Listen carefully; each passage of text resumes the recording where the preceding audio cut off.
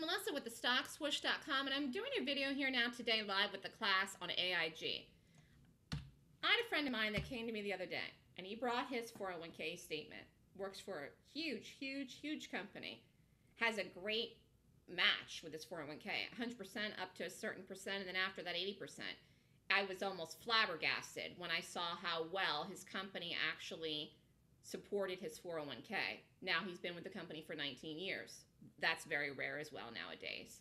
But the company's a big corporation, and he wanted me to look over all the things that he was invested in, which I did.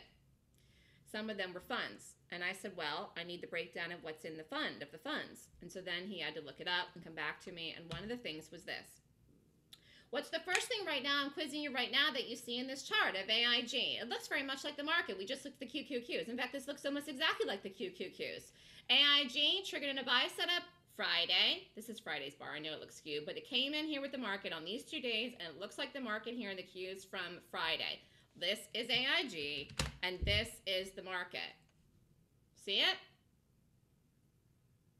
Does everybody see that?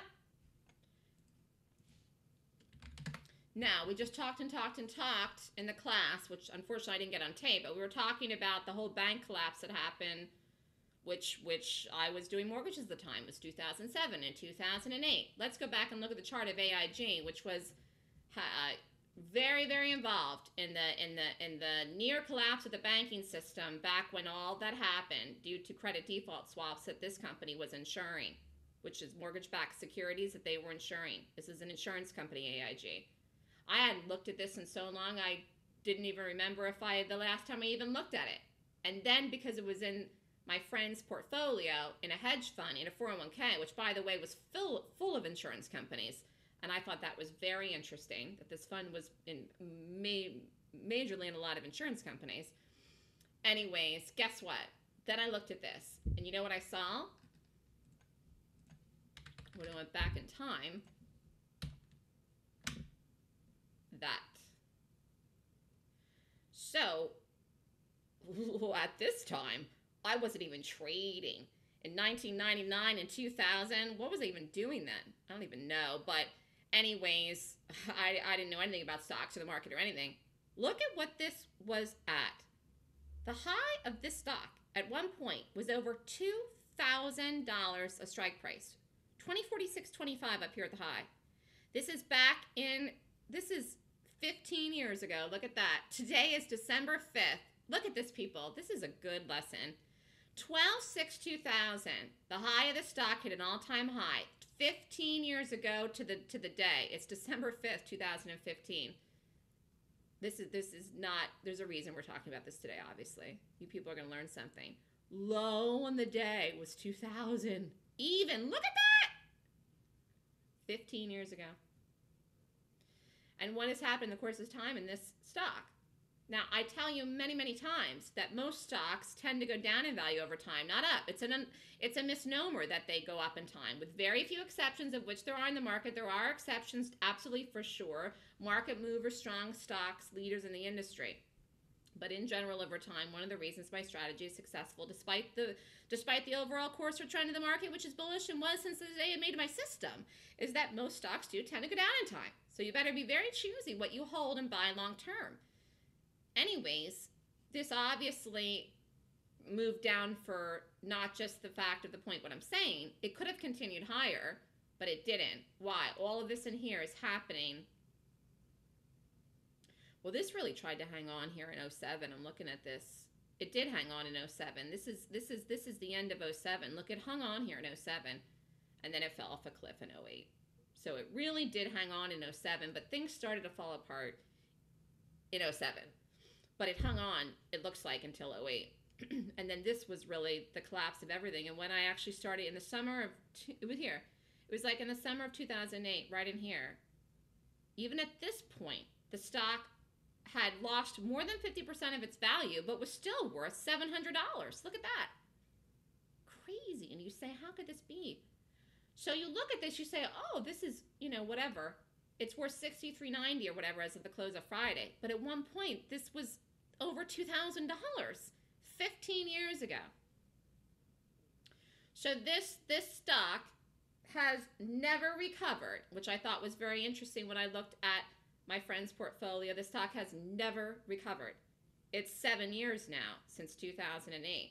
The stock has never recovered since what happened with the collapse of all of the credit default swaps and uh, mortgage backed securities, all of the way that the banking laws have changed and the whole industry has changed, which which I don't think it will ever go back to be that way again, but you never say never. Anyways, this has not recovered. You can say it's recovered, you can think it's recovered, but it hasn't. Because look at what it's worth now compared to what it used to be.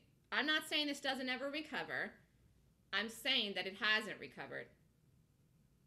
So when you when you look to do something with a with a with a stock, you have to take all of this into consideration in here of what happened. I mean, this was one of the companies that could have gone bankrupt and probably would have gone bankrupt if the United States government hadn't bailed out the banking industry. It did. A lot of people think that they shouldn't have done it, and if they hadn't, AIG would have gone under. AIG was primarily responsible for for a lot of the credit default swaps that actually existed in the market, and you should Google and read about that, or even what a credit default swap is. I don't want to get too off target, but even as someone that was in the mortgage industry and the banking industry at the time, I didn't know all the ins and outs of this until the whole thing started to fall apart, and then you and then you find out about it. All these things that are going on behind the scenes. No one realizes how much money all these companies have. I mean, do you, do you know that? Look look at this. I mean, look what this was worth at this time. Let's just see what Apple was worth. Oh, we can't go back. We can't go back because those charts have changed now. I'm not going to be able to see for real. Let me just look. The chart's still here, but the number isn't going to be right. Shoot. Yeah, I don't know what the real number is here. Let me just look at 2000 in Apple.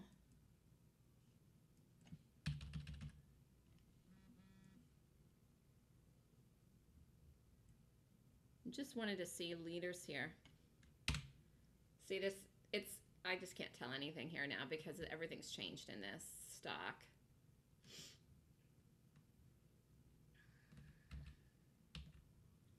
But it was in an uptrend. It was in an uptrend into the rally into the year 2000, Apple was. But you can't tell anything what the price really was here because this has changed. Same, same thing with Google. You can't, you can't tell. But I'm telling you, for anything to be worth this much, I'm, I'm just trying to think if anything, even now, I can't, I can't, I, what, is there anything even now that was, is worth over $2,000 in the market as a strike price of a, of a company? I mean, if Google had stayed that way, it would have gone over that. Then they split. I, I can't think of anything. Could anyone think of anything? And this just gives this just just this the point i'm trying to make is what the discussion we were having about the banking industry we really got off track here but this is a good discussion is that banks have a lot of money. So an aig is you know is an insurance bank.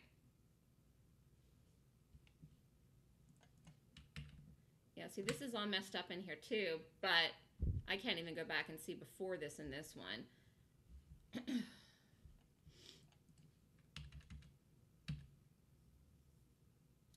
Give me the ticker symbol. Give me the exact ticker symbol, Alex. And anyone, anyone else that wants me to look at something that's crazy high price.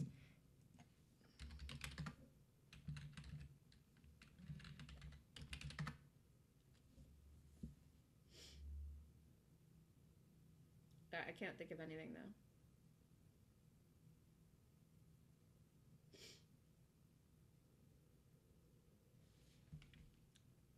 this ever got up over 2,000. Nope. The, this is this is heading there too with the market. This is heading up there. This is heading up there too, but it's heading up there much more nicer than the AIG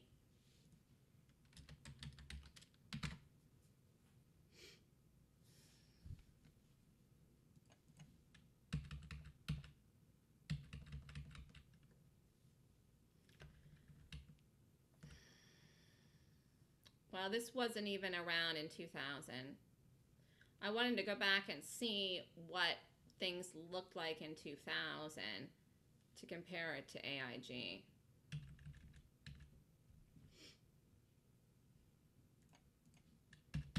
But this is not I mean, this is not look at the volume in this. This is this is not tradable for people.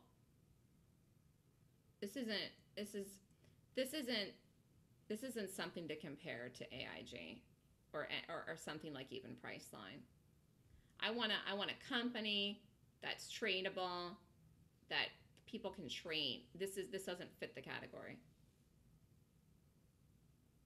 Anyways, getting back to what I was saying, and then I'll and then I'll finish up the video here. This the point I'm trying to make is that stocks tend to go down in time, number one, and banks have a lot of money. Okay, so 15 years ago would have been, you know, seven, eight years for the bank industry collapse. One of the biggest companies out there, most expensive ones, was AIG, and look at it now. So the whole lending practices have changed.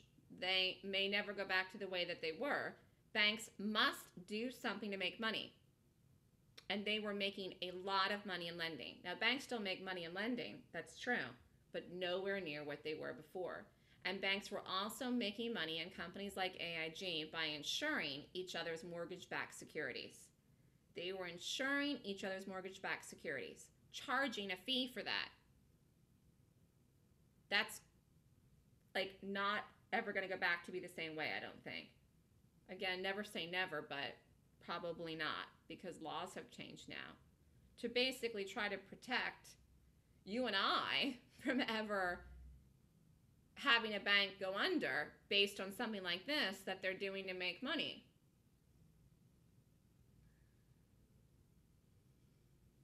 But this company probably would have went under if the government hadn't stepped in. And it, this company was involved in everything tied into every bank that was out there.